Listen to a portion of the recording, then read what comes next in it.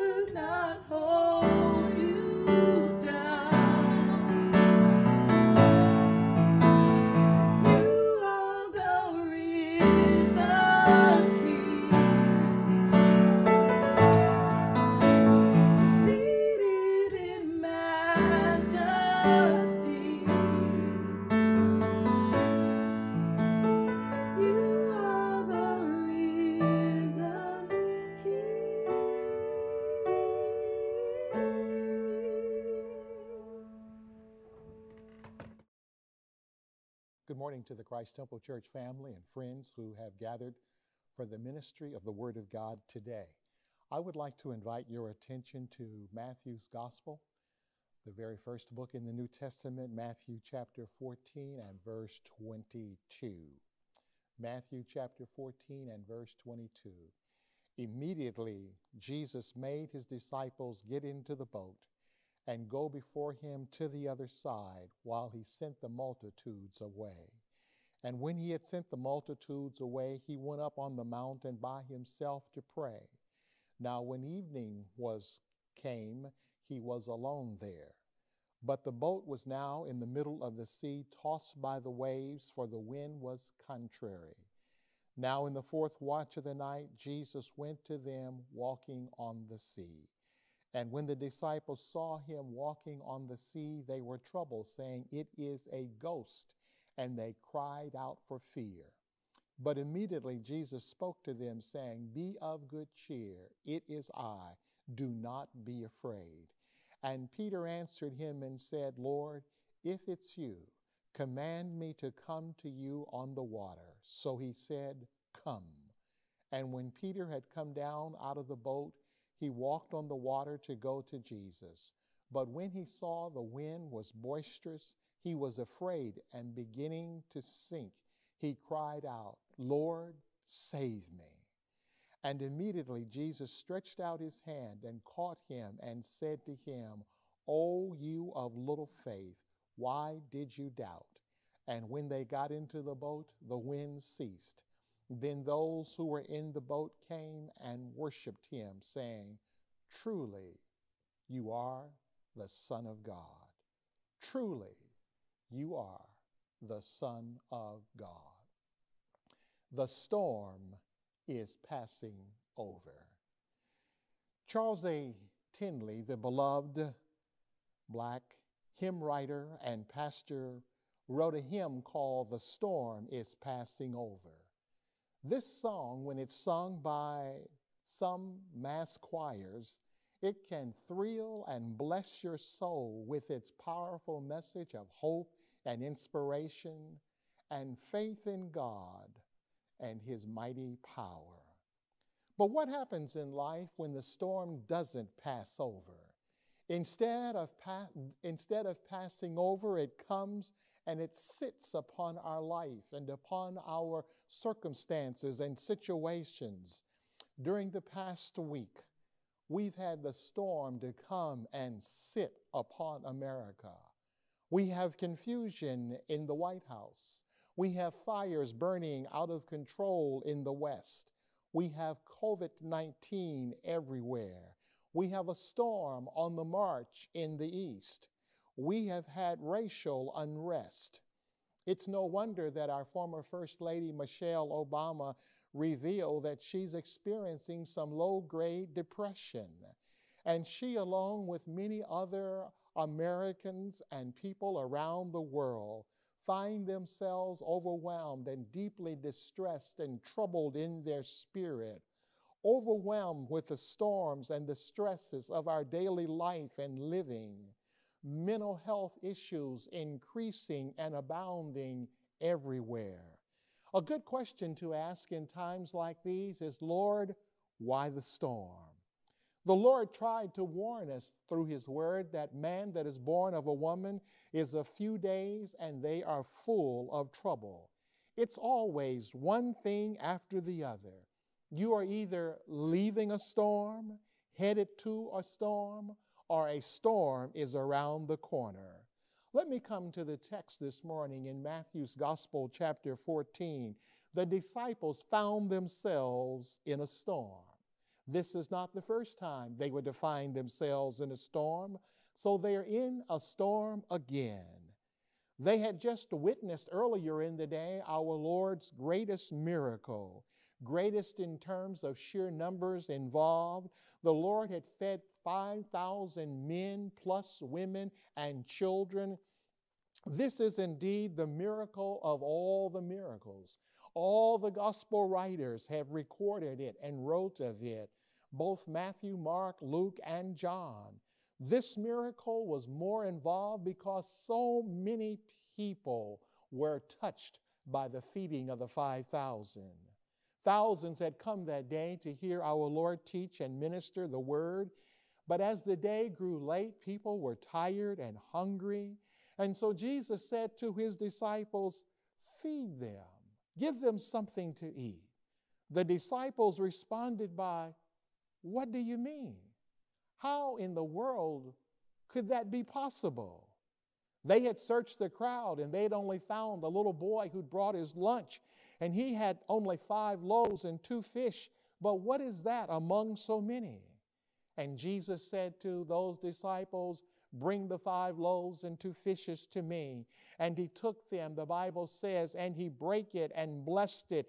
And the disciples began to pass it out among that great crowd, perhaps a crowd of 15 or 20,000 people all together when you count the women and the children, reminding us once again that little is much if God is in it.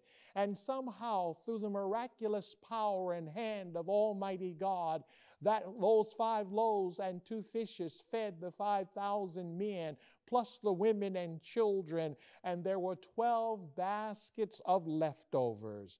The crowd is so amazed at the miracle that they have witnessed and just experienced that they are ready to take Jesus and make him king.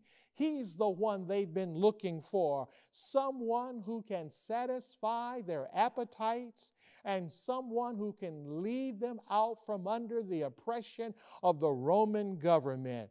Jesus is indeed the man for the hour. So they are ready to come by force and take him and make him the king. But Jesus, knowing that his hour is not yet come, he tells his disciples, Go and get into the boat and go to the other side of the lake. And he would take the responsibility for sending the crowd away. So they went and got into the boat about to cross the Sea of Galilee while our Lord is busy sending the crowds, dispersing the people, sending them back to their homes and villages. And after he sends them away, the Bible reveals that he goes up on the mountainside. He's alone now and he begins to engage in prayer with the Father God.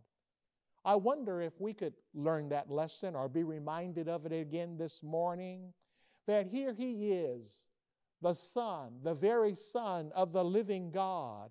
And yet, even though he is God in the flesh, but he also knows the value of spending time in prayer, getting on his face before the Father God. He sets time aside where he withdraws from the crowd and he steps away from his disciples. He finds that solitary place, and there in the solitude, he goes before the Father God. If Jesus needed time alone, time to pray, time to recharge and to renew his batteries, time to re- commune with the Father, how much more do you and I need to find that quiet place? That secret closet where we can talk with the Father God? That place where we can pull aside, step away from the cares and the busyness of this life, and just spend time with God the Father in prayer. This is why our Lord said men ought always to pray and not to faint. Perhaps the reason that we get so weary and tired along the way is because we spend so little time in prayer. We spend so little time with the Father recharging our spiritual batteries, being renewed in a way that we can only be renewed as we pray and seek the face of Almighty God. Well, as our Lord is away on that mountainside alone, the disciples are down below. They're out there now on the Sea of Galilee, and they have been rowing, trying to make it to the other side but suddenly a storm has come up. And Even though they have been out there for hours, they are rowing into some very strong headwinds. The seas have become rough. The night has encroached upon them and they find themselves in the darkness. And so, there in the face of the wind and the rain and the storm, the disciples are being beat down, as it were. They are tired and frustrated and frightened. These disciples were on the edge because they were in a storm that they could not control. And right now, we are in a storm that is beyond our ability to control. This storm of corona, the coronavirus and COVID 19, it's beyond our ability to control. We do not see our way through. We wonder when and if ever things will return to some degree of normalcy. Well, as they are about to panic, suddenly, they look up and they see someone walking on the sea. And these men, these disciples, they are terrified and they scream out in fear because they thought they were seeing a ghost. And then Jesus speaks to them words that we all need to hear during this particular season, word that bring, words that bring comfort to our soul. Don't be afraid. Oh, certainly fear is everywhere. Right now, we are in a fearful season. Will I get sick? Will this president retain the office of leadership? What will I do about employment? Will there be a vaccine? When are things going to get back to the way they were? How will we make it financially? When will the church open back up? When can I receive family and friends? Fear is everywhere. And yet, in the midst of their fear, Jesus says, Fear not. The Bible is filled with verses that speak to the human condition. And over and over again, one of the words that falls frequently from the words of our lips is fear not. I am told that if we search our Bible thoroughly, we will find 365 fear nots. A fear not for every single day of the year because that's so often where we live. That's so often where we park. We park in the land of fear. So much of life is out of our control. We feel so helpless and so hopeless at times. It's good to be reminded of what Isaiah said in Isaiah chapter 43. Our God speaking through his servant, the prophet, Fear not, I have redeemed thee. When you pass through the waters, I will be with you. And when you pass through the rivers, they shall not overflow you. When you walk through the fire, it shall not burn you, and the flames will not consume you. Over and over again, the message in the Holy Scriptures is don't be afraid, because our God says, Fear not. He does indeed have it under control. It may be over our head, but it is under his feet. And Jesus tells his disciples, Don't be afraid, because he is the great I am who is with them. In the midst of the storm, in the midst of their panic, in the midst of their confusion, in the midst of their fear, he is with them, and our God is always larger than our circumstances, and He is indeed in charge. That name He gives to His disciples, He says, I am. That's the name God gave to Moses when Moses wanted to know whom should he say to Pharaoh that he was, that God was. And he said, just tell them that I am that I am. God spoke to Moses and said, Tell them, I am that I am. Our God is not, was, or shall be. He always is. He is always a present help, a right now help in our times and seasons of trouble. He's always what He needs to be. Whatever is needed, He is there for His people. The old preacher said that if you need a lawyer, He'll be a lawyer. If you need a doctor, He is the great physician. If you need a bridge over troubled waters, our Lord is that bridge. If you need a friend like none other, our Lord will be that friend. If you need a banker or a financier, our Lord owns the cattle on a thousand hills. Be of good cheer. What do you need? Our God is able in the midst of the storm. He's still able to make a way out of no way. Peter, after hearing the voice of our Lord who says, I am that I am, Peter gets all excited, as Peter frequently does, and he says, Lord, if it's you, bid me to come.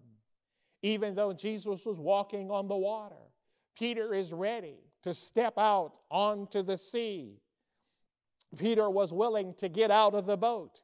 And many times that is our challenge. We're unwilling to get out of the boat. We just want the same old, same old. We get so satisfied, complacent, and stale. But our God is always able to do a new thing if we're only willing to get out of the boat and trust Him. to get out of the boat of the familiar, the ordinary, step on the waves of uncertainty and see what God will do. Peter found himself walking on the water. And as long as his focus was on Jesus, he was able to walk on the boisterous waves of the sea.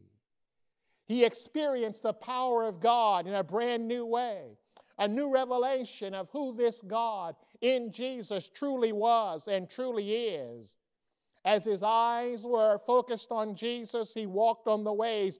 But in the moment that his eyes left the Master and he began to look at the waves, he began to head down into the depths of the sea.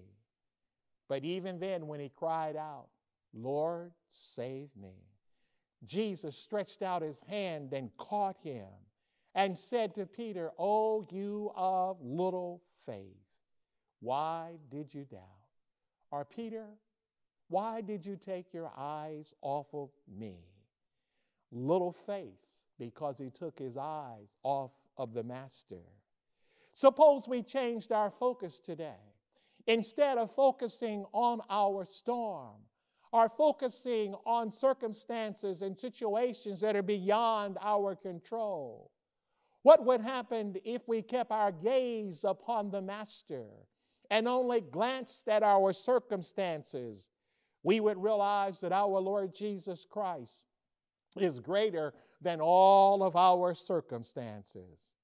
I find myself praying now, Lord, be glorified, even in the midst of the coronavirus.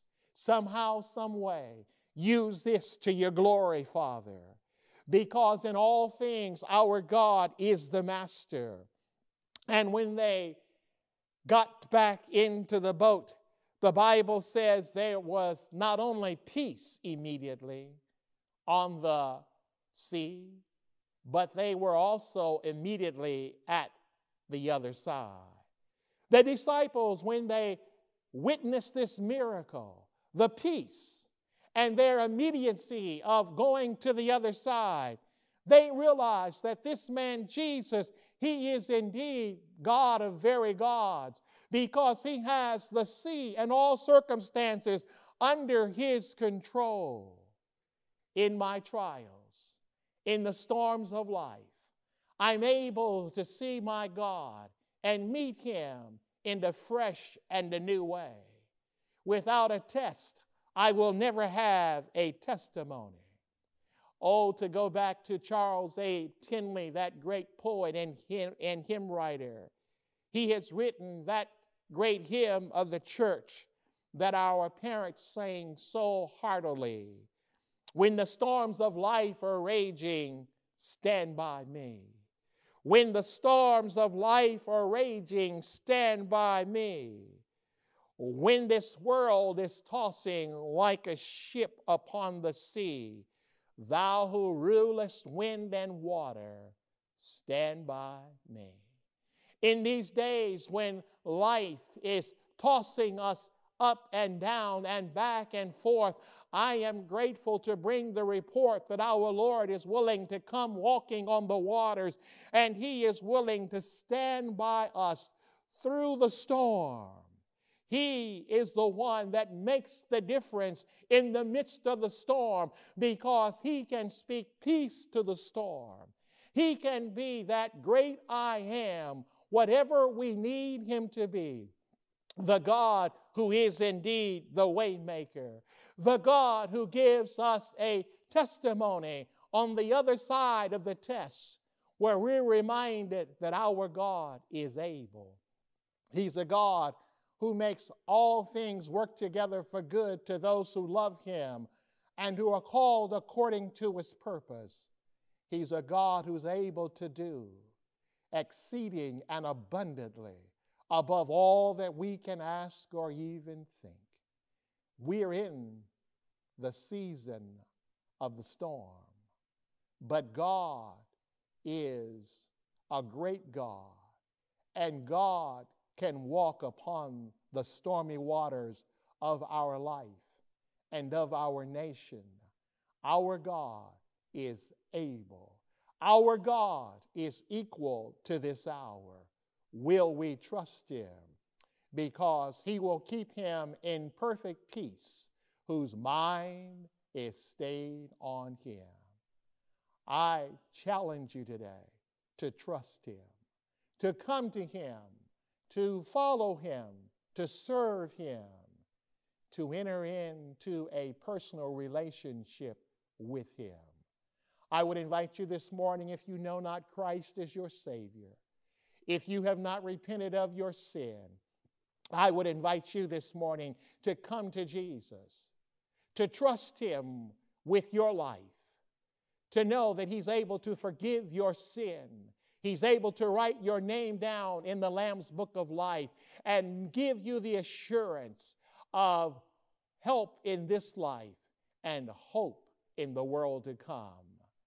Will you experience Him today by believing on Him, by trusting Him to forgive you of your sins and to give you that gift most precious, the gift of life eternal? In Jesus' name, I commend this Savior to you. Let us pray. Our Father and our God, again, we thank you for your grace, mercy, and love toward us. We are so grateful that you are willing to walk with us through the storm. And our prayer today that those who are hearing, if they have not trusted you, they may come to you in faith this day and believe on you to be Savior and Lord of their life. And oh God, as we all walk through this present storm, we're so grateful that you're able to walk on the waters. You're able, oh God, to bring us a peace that the world cannot give and that the world cannot take away. We trust you now.